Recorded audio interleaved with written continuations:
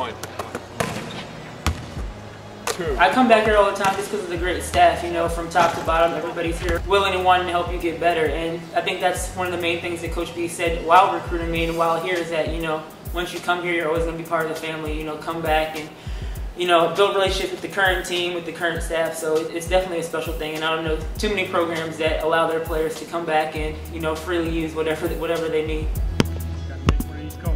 I chose Maryland because I was really close with the coaching staff and then having great relationships with, you know, Lane, Kristi, and Hart coming in here. I think that kind of helped. And wanting to go to a school that hadn't won a national championship or wasn't, you know, one of those powerhouses and helped uh, turn it into a national powerhouse.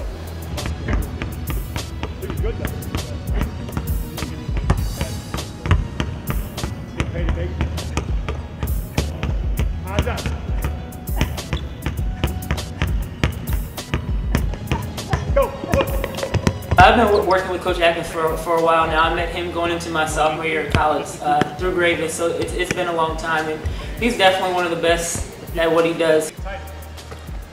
He is great at player development, great at motivating. 10, 9, good, 8, 7, 6, 5, 4, 3. Uh, you you want to get better, you want to work hard for him, and uh, it's definitely he's a great asset for for this program and, and, and for alumni. Good, eyes up. Good, Chris, good. Eyes up. Get out. Put your shoulder to it. Get out. There you go. Body into it. Get out. There you go.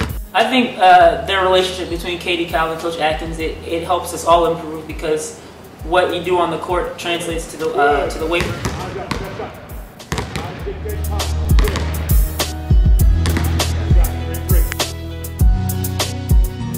You know they do a lot of communicating and. Uh, Kyle and Katie are great. They're again willing to help you get better, and, they're taking the time out, out of their day to help, you know, help people that aren't even with the program anymore get better and, and help achieve their goals.